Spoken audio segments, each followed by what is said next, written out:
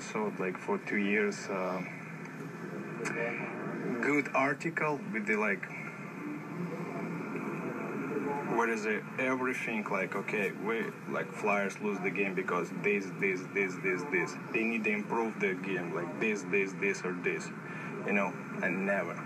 That's what's to call professionalism. You're just guys here to blame to someone, but you never, never look yourself in the mirror, right? You're always good. You never make the mistakes. Yeah, your article's always perfect. But in, in reality, what have you done for the city? If you ask yourself, what have you done it? Ask your that question